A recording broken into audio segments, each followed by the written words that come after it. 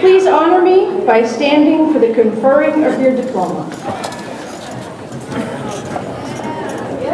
On behalf of the Board of Trustees, the faculty, and administrators of Charter College, I wish to extend to you my congratulations on completing the requirements for this diploma awarded to you on this day, the 22nd of July, 2011.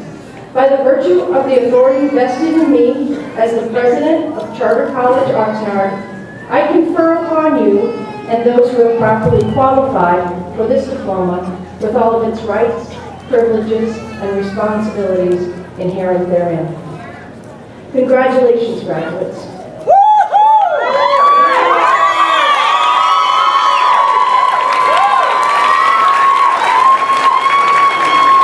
In this very moment, choose, you are free to choose any action, any path, any thought that you wish. Choose to step confidently forward on the path to the best possible life, the best place you can even imagine.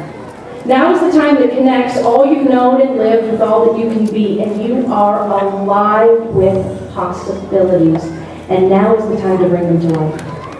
Ahead, there are possibilities too numerous to even count. I ask you to look closely with your heart. The best of those possibilities will come shining through. I would like to recognize all the graduates of the class of 2011.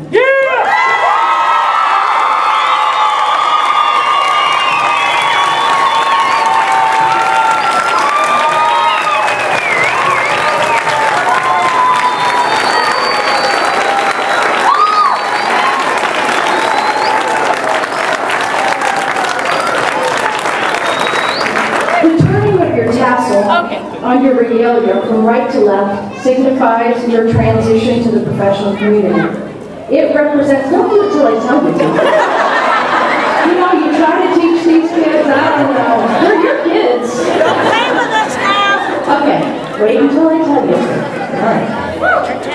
It represents the ending of one journey and the beginning of another. At this time, I ask that you turn your tassel from right to left.